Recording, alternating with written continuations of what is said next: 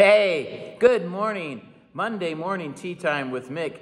I hope your week's off to a great start. You know, one of the questions that I believe is asked often is how, the, how will the world know that we are disciples of Jesus? Well, Jesus answered that question in John 13 35, where he said, They will know you are Christians by your love, your love for one another and your love for those out in the world.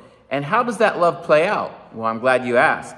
Paul the apostle says to us in 1 Corinthians chapter 13, he describes love and how we should live.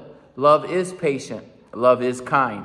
It does not envy, it does not boast, it is not proud, it is not rude, it is not self-seeking. Love does not delight with evil, but rejoices with the truth. It always protects, it always trusts, it always hopes, it always perseveres. Love never fails. And the last verse of chapter 13 says, And these three remain faith, hope, and love, but the greatest of these is love. So the question of the hour is How are you doing? How are you loving? Jesus goes so far as to say that we don't just love those who love us. If we do, we're no different than anybody else.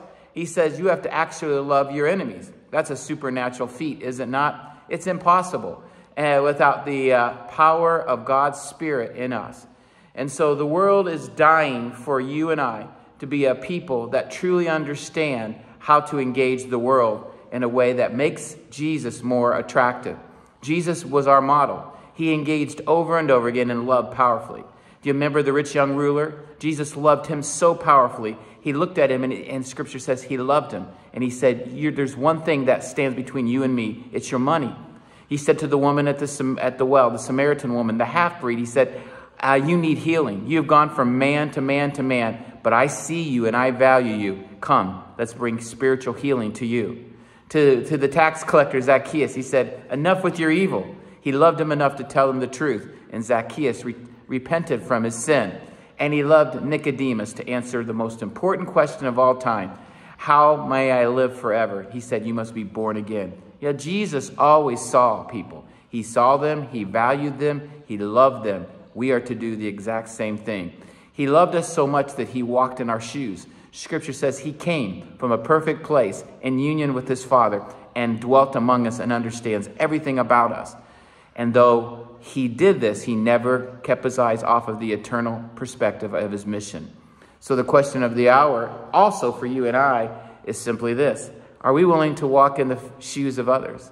Are we willing to walk in the shoes of those who are hurting?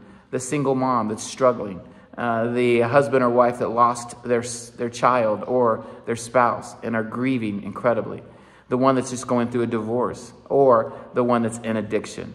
Are we willing to come alongside one that's got the, the uh, issues of physical disease that is taking control of their bodies? Yeah, it's messy. Yes, it will cost us something. But if we're going to win the world, we have to see people, value them, and we have to value them more than their opinion. Catch that. We value them. We don't have to agree with their opinion or their ideology, but we are to love them regardless. That's what Scripture tells us. And the reason behind that is that everyone is made in the image of God. We are image bearers of God. Therefore, we have value. And we can disagree, and we don't have to uh, truly see eye to eye on everything, but we can love them authentically, and that will give us a bridge to be able to have them have an opportunity to know Jesus. And the only way we're going to ever be able to express um, the love that 1 Corinthians 13 says is that we have to first receive the love of God in our lives. God loves you. Have you experienced that today? He loves you. And once you've experienced the true, authentic outpouring of the love of God, it will automatically flow from you to love others. God is love. Whoever lives in love lives in God and God in him. If anyone says, I love God, yet hates his brother, he is a liar.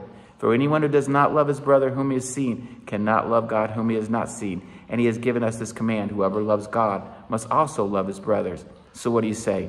Let's go and love the world the way Jesus did. Because he loves you. He always has and he always will. He goes before you and behind you, and absolutely nothing can take you out of his hands. I do pray you have a blessed week. And to this truth I say, all right and amen.